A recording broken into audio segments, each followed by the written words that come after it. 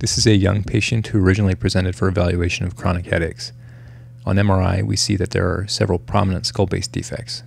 The first is a large meningocele involving the sphenoid bone, with extension of contents into the nasopharynx via the sella. Although not well depicted here, the optic chiasm was inferiorly displaced into this defect as well.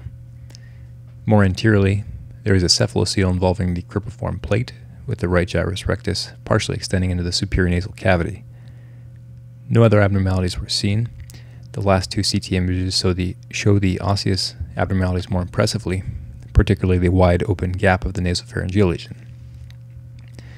Cephaloceles generally are thought to occur secondary to a number of potential mechanisms depending on location, ranging from neural tube closure abnormalities to skull base ossification failure. Various types include occipital cephaloceles, which are thought to be more commonly seen in females of Caucasian descent, frontoethmoidal or sincipital cephaloceles, which are thought to occur more commonly in Asian populations, as well as the rare nasopharyngeal presentation, as is also seen in this case. These abnormalities are repaired, and the clinical concern is otherwise for development of CSF leaks or meningitis.